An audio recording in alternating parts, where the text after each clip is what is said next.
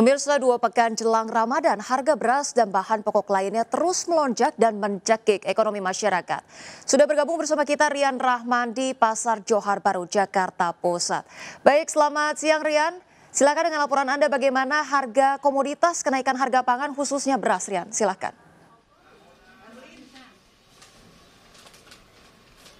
Baik Ocha maupun pemirsa yang ada di rumah, sejumlah bahan pangan ataupun komoditas pangan di sejumlah pasar di masyarakat mengalami peningkatan.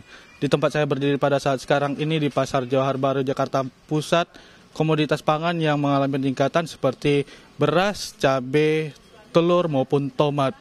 Untuk beras sendiri mengalami peningkatan yakni beras medium naik sekitar 15 hingga 30 persen, sedangkan beras premium meningkat sebesar 40 persen.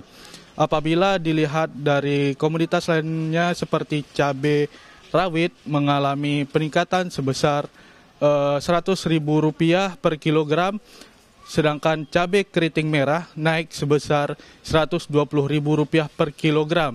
Adapun telur ayam beras ataupun telur yang biasa dikonsumsi oleh masyarakat yakni uh, naik sebesar Rp31.000 per kilogramnya. Hal ini disebabkan lantaran minimnya pasokan dari distribusi pusat uh, yang mengalir ke pasaran sehingga tingginya uh, minat ataupun pembeli di pasar sehingga menaiknya harga bahan pangan ataupun komoditas pangan di pasar. Para pedagang maupun pembeli berharap agar pemerintah dapat mengintervensi harga-harga komoditas pangan yang mengalami kenaikan tersebut lantaran menyusahkan ataupun memberatkan para pedagang maupun pembeli yang mana dibutuhkan untuk bahan pangan sehari-hari. Sekian Ocha kembali.